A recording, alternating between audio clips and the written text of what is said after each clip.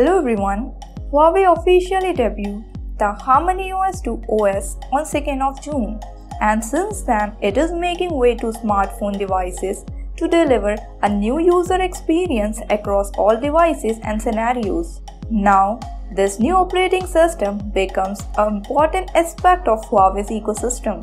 In the latest development, Huawei has announced the Harmony OS 2 closed beta equipment for 7th batch of devices that contains 10 oldest Huawei phones and tablets. There are a total of 2000 testing slots open under this test activity between September 15 to October 10, 2021 in China.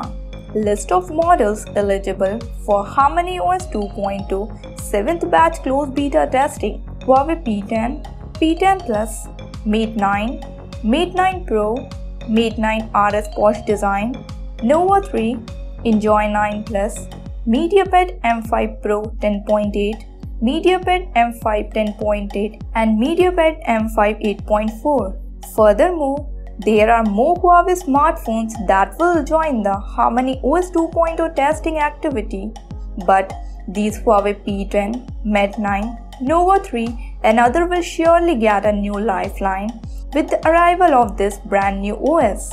After completion of requirement, the company will process them and deliver Harmony OS 2.0 closed beta builds via OTA upgrade. And after a certain time, Huawei will open public beta testing, which will pave the way towards final rollout in the stable mode.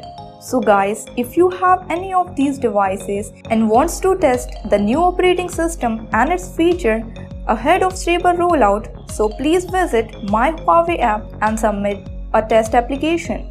That's it for now. If you like this video, then press the like button, comment below, press the bell icon and subscribe to our channel. And don't forget to visit HC Newsroom.